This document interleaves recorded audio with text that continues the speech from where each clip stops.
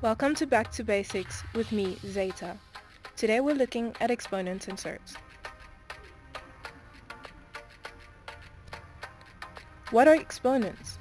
Exponent refers to the number of times a number, or the base, has to be multiplied by itself. Definitions. Any non-zero number raised to the power 0 is equal to 1, but 0 raised to the power 0 is still 0. The negative exponent. This is a number which is on the wrong side of the fraction line. So, to solve, we simply reciprocate.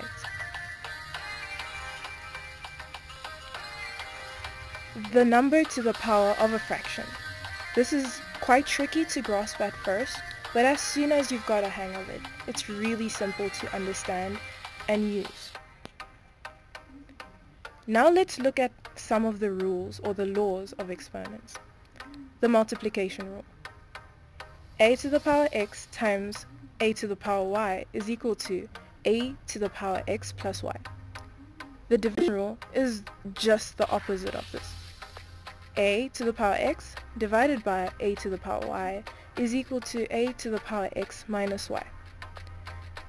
So as you can see here, you either add the exponents if it's multiplication or divide the exponents if it's division. Please note there are no exponent rules for whether for when you have two numbers which are added or subtracted whether they have an exponent or not. The power of a power rule. a to the power x all to the power y. It's quite simple, just a to the power x times y. So had it been a to the power a to the power b to the power c to the power d, it would be a to the power a times b times c times d. The power of a product rule. This happens when you have a bracket raised to a power. You basically only have to multiply or distribute in the exponent. So ab to the power x is equal to a to the power x times b to the power x. Please note this is one term. Had it been that there are two or more terms in your bracket, you would handle this differently. Power of a fraction rule. This is the same as the power of a product rule because this is only one term, so you distribute the exponent between the number in the numerator or the variable in the numerator and the number or, and the, or the variable in the denominator. The last three, as you can see, are the definitions that we just went through, but you can have another look.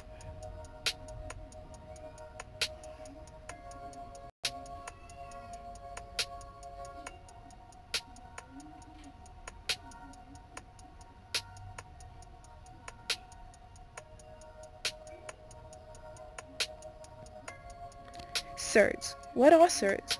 Surds are referred to as radicals sometimes, and they're basically just the opposite of exponents. So, because surds are the opposite of exponents, and as we saw in the lost exponent law, it's just a number to the power of a fraction, the same rules apply for surds as those that apply for exponents. It may look different, but I promise you it's not.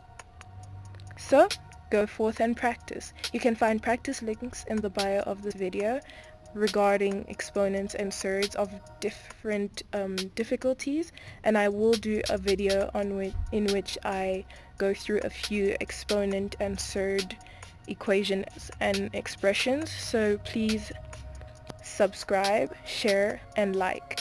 I really hope this helped. This was Back to Basics with your girl Zeta. Lots of love.